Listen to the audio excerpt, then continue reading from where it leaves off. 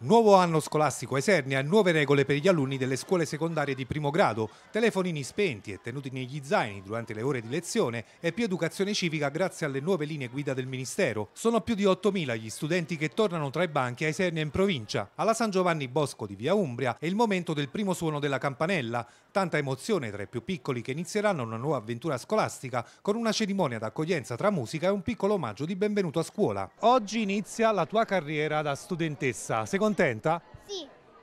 Sì. In bocca al lupo. Sì. Sei emozionato? No. Come no? Non sei contento? No. Anche per te è il primo giorno. È una nuova avventura questa qui, eh? diventerai un po' più ometto, no? Adesso. Sì. E questo bel bambino che ride come si chiama? Francesco. Francesco, sei contento di, di venire a scuola per la prima volta con tutti i tuoi amichetti? No.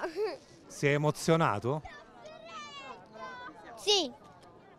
Ti piace l'idea di essere con tanti bambini in classe per un anno intero? No. Come no?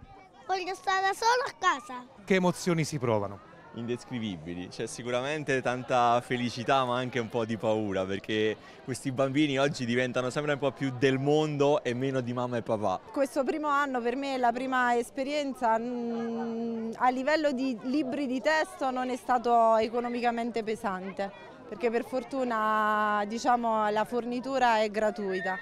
Altro materiale chiaramente costa e grava sull'economia familiare, però per i figli si fa questo e anche altro. Una scuola rinnovata grazie ai fondi PNRR e alle nuove direttive ministeriali. Allora, per quanto concerne gli alunni della scuola secondaria di primo grado, è fatto divieto assoluto dell'utilizzo dello smartphone, per cui va spento.